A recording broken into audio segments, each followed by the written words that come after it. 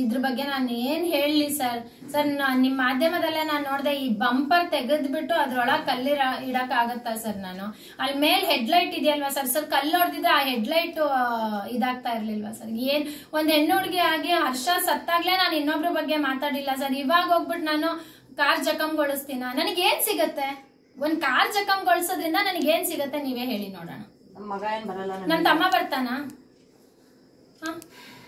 ಇವತ್ತು ತಮ್ಮನ್ ಕಳ್ಕೊಂಡು ನಾವೇ ಏನ್ ಮಾಡೋದು? ನಮ್ಮ ಅಪ್ಪ ಅಮ್ಮನ ಪರಿಸ್ಥಿತಿ, ನೀವು ನೋಡ್ಬೋದು, ಬಿ ಪಿ ಕಿಟ್ ಮನೆಯಲ್ಲೇ ತಂದಿಟ್ಕೊಂಡಿದೀವಿ ನಾವು. ಪ್ರತಿ ಕ್ಷಣ ಸಾಯ್ತಾ ಇದೀವಿ, ನರಳ್ತಾ ಇದೀವಿ ನಾವು. ಅವತ್ ಬಂದ್ಬಿಟ್ಟು ಎಲ್ಲಾರು ಹೇಳಿದ್ರು, ಇಲ್ಲ, ಈ ತರ ಮತ್ತೆ ಆಗಲ್ಲ ಮತ್ತೆ ಆಗಲ್ಲ. ನೋಡ್ತಾನೆ ಇದ್ದೀರಾ? ನೀವುಗಳು ನೋಡ್ತಾ ಇದ್ದೀರಾ? ನಾವುಗಳು ನೋಡ್ತಾ ಇದೀವಿ. ಪ್ರತಿಯೊಂದು ಮನೆಯಲ್ಲೂ ಭಯದ ವಾತಾವರಣ ಸೃಷ್ಟಿಯಾಗಿದೆ ಇವತ್ತು.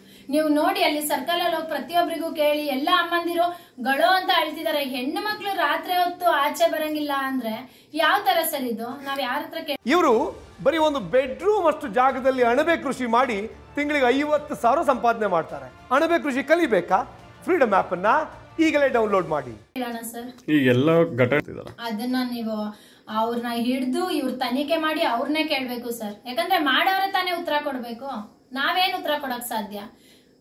ಹೆಂಗಾಗಿದೆ ಅಂದ್ರೆ ಹರ್ಷ ಹೋದ್ಮೇಲಿಂದ ನಾವು ಬ್ಲೈಂಡ್ ಆಗಿ ಏನನ್ನೂ ಮಾತಾಡಬಾರ್ದು ಅನ್ನಿಸ್ಬಿಟ್ಟಿದೆ. ಯಾಕಂದ್ರೆ ಅವ್ರ ಮನ್ಸಲ್ಲಿ ಏನಿರತ್ತೋ ಅವ್ರು ನಾಳೆ ನಮ್ಮನ್ನ ಏನ್ ಮಾಡ್ತಾರೆ? ಯಾಕಂದ್ರೆ ನಾನು ಹೇಳ್ತಾ ಇದ್ದೀನಿ, ಇವಾಗ ನಮ್ಮ ನಮ್ಮನೇಲಿ ಮೂರ್ ಜನ ಮಕ್ಕಳು ನನ್ನ ತಮ್ಮನ್ ತೆಗ್ದಿದ್ದಾರೆ. ಇನ್ನು ಮಿಕ್ಕಿದ್ದು ಎರಡೇ ಹೆಣ್ಣು ಮಕ್ಳು ಇರೋದು. ನಾವು ಹೋಗ್ಬಿಟ್ರೆ ನಮ್ಮ ಅಪ್ಪ, ಅಮ್ಮ ಅನಾಥರಾಗ್ತಾರೆ ನಾ ಅವನ್ ಹೋಗಿನೇ ಅವ್ರು ಅನಾಥರಾಗಿದ್ದಾರೆ ಯಾಕಂದ್ರೆ ನಾಳೆ ನಮ್ಮಪ್ಪ ಅಮ್ಮನ್ ಕಳ್ಕೊಂಡು ನಾವೇನ್ ಮಾಡೋಣ? ನಮ್ಮನ್ ಕಳ್ಕೊಂಡು ಅವ್ರೇನ್ ಮಾಡ್ಬೇಕು? ಸರ್ಕಾರ ನಿಜವಾಗ್ಲೂ ಫಸ್ಟ್ ಇದ್ರ ಬಗ್ಗೆ ಗಮನ ಹರಿಸ್ಬೇಕು ಈ ತರ ಕೆಲಸಗಳಾಗ್ತಿದೆ ಈ ತರ ನಮ್ ಹಿಂದೂ ಮಕ್ಕಳನ್ನ ಟಾರ್ಗೆಟ್ ಮಾಡ್ತಿದ್ದಾರೆ ಇಲ್ಲಿ ಏನ್ ನಡೀತಿದೆ ಅನ್ನೋದ್ರ ಬಗ್ಗೆ ನಮ್ ಸರ್ಕಾರ ಎಚ್ಚರಿಕೆ ವಹಿಸ್ಕೊಂಡು ಇದ್ರ ಇದ್ರ ಬಗ್ಗೆ ಏನಿದೆ ಅವ್ರ ತಗೊಳ್ಳೇಬೇಕು ಹಿಂದೂಗಳ ಪರವಾಗಿ ಮಾತಾಡ್ತಿದ್ದೀರಾ ಅಂತ.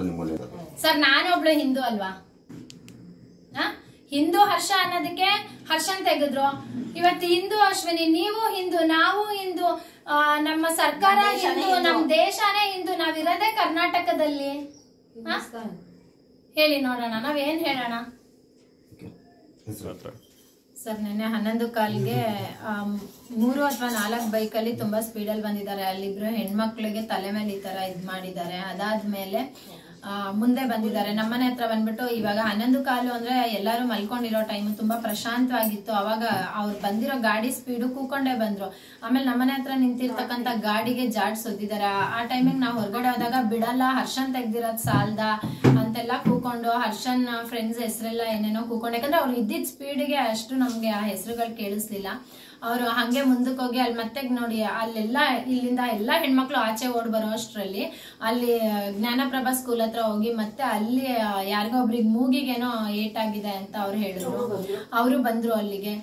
ಇದೇ ತರ ಆಗ್ತಾ ಹೋದ್ರೆ ಎಲ್ಲೋ ಒಂದ್ ಕಡೆ ಹರ್ಷ ಅಷ್ಟು ದೊಡ್ಡ ಮಟ್ಟದಲ್ಲಿ ಹತ್ತು ಜನ ಸೇರಿ ಅವನ್ನ ಕೊಲೆ ಮಾಡಿ ಇಷ್ಟೆಲ್ಲ ಆದ್ಮೇಲೂ ಕೂಡ ಎಲ್ಲೋ ಒಂದ್ ಕಡೆ ಇದು, ಅವ್ರಿಗೆ ಎನ್ಕೌಂಟರ್ ಮಾಡಿದ್ರೆ ಈ ಮಟ್ಟಕ್ಕೆ ಆಗ್ತಾ ಇರ್ಲಿಲ್ಲ. ಯಾಕಂದ್ರೆ ಇದು ಯಾವುದೇ ತರ ವೈಯಕ್ತಿಕ ಅಲ್ಲ. ಈಗ ಸಾಬೀತ್ಪಡಿಸಿದ್ದಾರೆ ಎಲ್ಲ ಮಾಧ್ಯಮದಲ್ಲೂ ತೋರಿಸಿದೀರಾ. ಎನ್ ಅವರು ಅವ್ರದ್ದು ತನಿಖೆ ಪೂರ ಮಾಡಿ ಹೇಳಿದಾರೆ ಅವರು, ಇದು ವೈಯಕ್ತಿಕ ಅಲ್ಲ, ಇದು ನಮ್ಮ ಹಿಂದೂ ಸಮಾಜನ ಎದುರಿಸ್ಕೊಳ್ಬೇಕು ಅಂತಾನೆ ಹರ್ಷನ್ನ ಟಾರ್ಗೆಟ್ ಮಾಡಿ ಹೊಡೆದಿದ್ದಾರೆ ಅಂತ. ಇವತ್ತು ನಮ್ಮನೇಲಿ ನಮ್ಮ ತಮ್ಮನ್ ಕಳ್ಕೊಂಡಿದೀವಲ್ಲ, ನಾವೇನ್ ಮಾಡ್ಬೇಕು? ನಾವ್ ಯಾರತ್ರ ಅವ್ರ ನ್ಯಾಯ ಕೇಳ್ಬೇಕು? ಇವಾಗ ನೋಡಿದ್ರೆ ಎಂಟು ತಿಂಗಳಾದ್ಮೇಲೆ ಈ ತರ ಎಲ್ಲ ಆಗ್ತಾ ಇದೆ. ನಾವ್ ಹಂಗಾದ್ರೆ ನಾವೀಗ ಒಬ್ಬೊಬ್ರೆ ಓಡಾಡ್ಬೇಕು. ನಾಳೆ ನಮಗೂ ಇದೇ ಪರಿಸ್ಥಿತಿ ಬರುತ್ತೆ. ನಮ್ಮನೆ ಹತ್ರನೇ ಬಂದು ಈ ತರ ಎಲ್ಲ ಮಾಡ್ಬಿಟ್ಟು ಹೋಗ್ತಾರೆ ಅಂದ್ರೆ ನಮಗ್ ನಿಜವಾಗ್ಲೂ ನೆನ್ನೆ ರಾತ್ರಿಯಿಂದ ಭಯ ಶುರು ಆಗ್ಬಿಡಿದೆ. ನಮ್ ಕತೆ ಏನಪ್ಪ?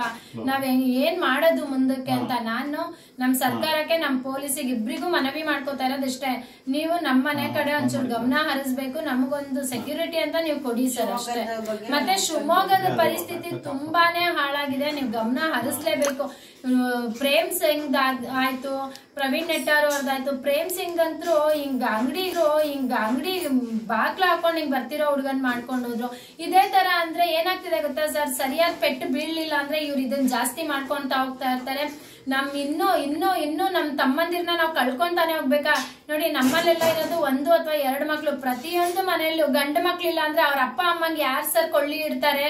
ನಾವ್ ಹೆಣ್ಮಕ್ಳು ಇಡಣ್ವಾ ನಮ್ ಶಾಸ್ತ್ರ ನಾವು ಬಿಡಣ್ವಾ, ಆ ಪರಿಸ್ಥಿತಿ ದಯವಿಟ್ಟು ನಮ್ಮನ್ನು ತಂದು ನಿಲ್ಲಿಸ್ಬೇಡಿ.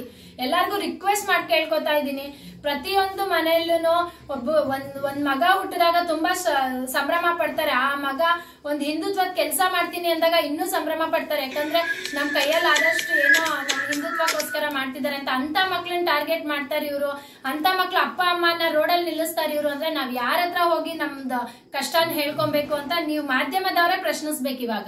ಸೊ ರಾತ್ರಿ ಎಷ್ಟೊತ್ತಿಗೆ ಬಂದಿದ್ರು ಮೇಡಮ್? ಆಮೇಲೆ ನೀವು ನಿಮ್ಮ ಮನೆ ಹತ್ರ ಬಂದಾಗ ಏನ್ ಮಾಡಿದ್ರು? ಸರ್ ಅದೇ ಸರ್ ಹೇಳಿದ್ನಲ್ಲ ಹನ್ನೊಂದು ಕಾಲ್ಗೆ ನಮ್ಮನೆ ಹತ್ರ ನಾನ್ ನೋಡಿದ್ದು ಬೈಕ್ ಒದ್ಬಿಟ್ಟು ಈ ತರ ಕೈ ಮಾಡ್ಕೊಂಡು ಬಿಡಲ್ಲ ಹರ್ಷನ್ ತೆಗ್ದಂಗೆ ಪ್ರತಿಯೊಬ್ಬರನ್ನು ತೆಗೆಯೋದು ಅಂತಾನೆ ಹೇಳ್ಬಿಟ್ಟು ಹೋಗಿದ್ದಾರೆ ಸರ್.